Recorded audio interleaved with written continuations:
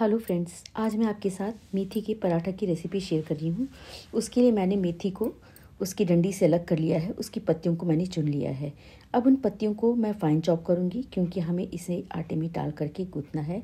इसलिए मैंने जितनी भी पत्तियों को लिया था, मैंने उन पत्तियों को अच्छे से दो से तीन बार मैं उसको चॉप करूँगी और बिल्कुल ही वो महीन हो जाएँगे। अब देखिए, हमारे मेथी के पत्ते बिल्कुल कट के तैयार हो गए हैं। अब हम आटा लगाएँगे। मैंने एक कटोरी मेथी का पत्ता मैंने लिया था और मैंने इसमें दो कटोरी मैंने आटा लिया है। इसमें मैंने हल्दी और नमक स्वादानुसार नमक और हल्दी ऐड किया है। अब हम इसमें अपनी मेथी के पत्तों को डाल देंगे, जो मैंने चॉप करके रखा था और मैंने इसमें थोड़ा सा दही डाला है और इसको अच्छे से हम मिक्स करेंगे।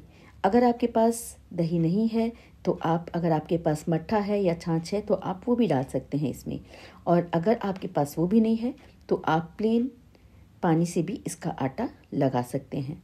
लेकिन दही डालने से इसका टेस्ट अच्छा होता है। और अगर आपके पास फ्रिज में मलाई पड़ी है तो आप मलाई भी इसमें डाल करके इसका आटा लगा सकते हैं।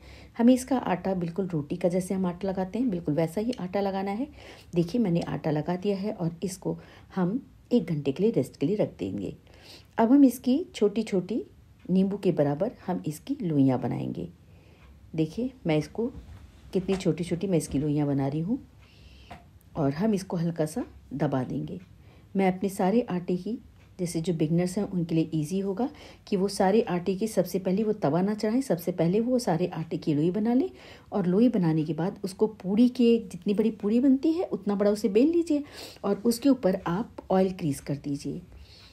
देखिए, मैंने सारे अपने जितना ही मैंने बनाई थी, मैंने सारे मेथी के पराठों पे मैंने ऑयल ग्रीस कर दिया है।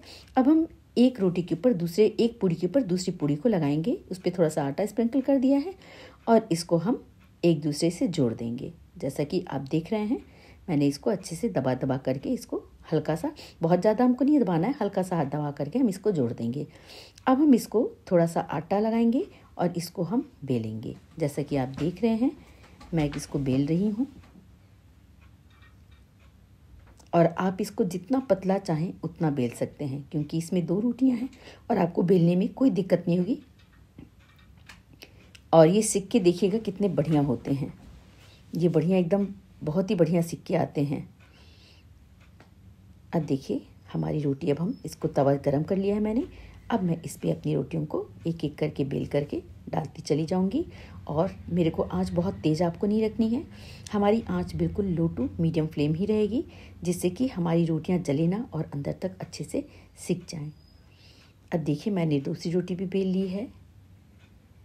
अब मैं तीसरी भी जुड़ा रोटी को बेल रही हूँ।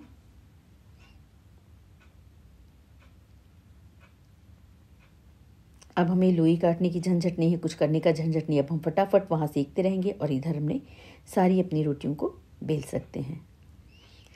अब देखिए, जब तक हम इसको बेल रहे हैं, तब तक हम दूसरी रोटी को, अपनी रोटी को भी देख रहे हैं। इसको भी हम उलट पलट देंगे। देखिए, हमारी रोटी हल्की सी सेकने लगी है। अब हम इसकी एक साइड में हमने ऑयल लगा दिया है। आप इसमें चाहें तो सरसों का तेल लगा सकते हैं, मूंगफली का तेल लगा सकते हैं रिफाइंड ऑयल लगा सकते हैं, घी लगा सकते हैं बटर लगा सकते हैं। जो भी आपके पास अवेलेबल हो, आप वो लगाइए। वैसे ये बटर लगाने पे बहुत ही टेस्टी बनता है। बटर और घी लगाएँगे तो ये टेस्ट बहुत ही इन्हेंस करता है। लेकिन मैंने इसमें मूंगफली का तेल से मैं बना रही हूँ। सरसों के तेल में भी अच्छी बनती है।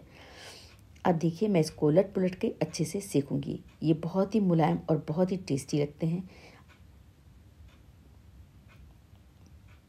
लेकिन हमें बहुत ही पेशेंसली इसको पकाना है क्योंकि दो लेयर हैं और हम इसको बिल्कुल लो टू मीडियम फ्लेम पे अच्छे से हम सेकेंगे इसको। देखिए, इसका कलर कितना अच्छा लग रहा है।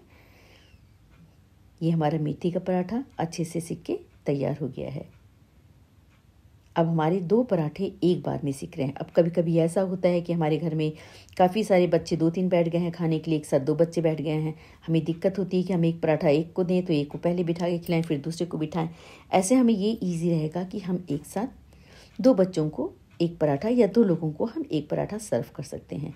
अब मैंने दूसरा पराठी पराठा भी डाल दिया है। इसको भी मैंने एक तरह से सेका है, दूसरी तरफ़ भी मैं इसको सेक करके मैं इसके ऊपर हल्का सा ऑयल क्रीज कर रही हूँ।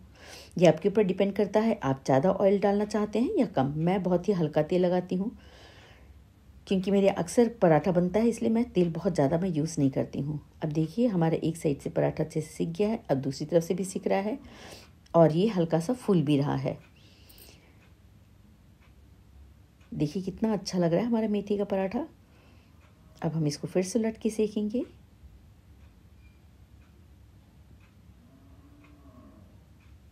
इसको हमें ऐसे ही धीमी धीमी दबा दबा के, पलटे से दबा करके हमको अच्छे से चारों ओर से कहीं से कच्चा न रह जाए, ये ध्यान देते हुए हम इसको अच्छे से सेकेंगे।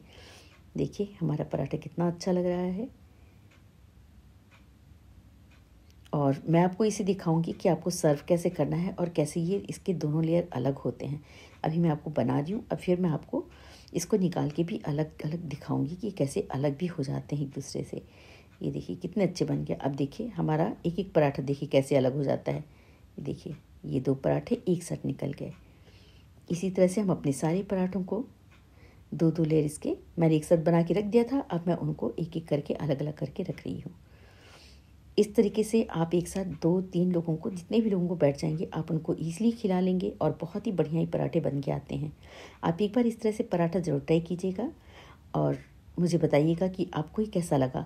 ये बहुत ही टेस्टी लगता है। एक बार ज़रूर ट्राई कीजिएगा। Thanks for watching do like subscribe and share to my channel शायद आपको मेरी रेसिपी अच्छी लगती है, इसलिए आप इसे देखना पसंद करेंगे।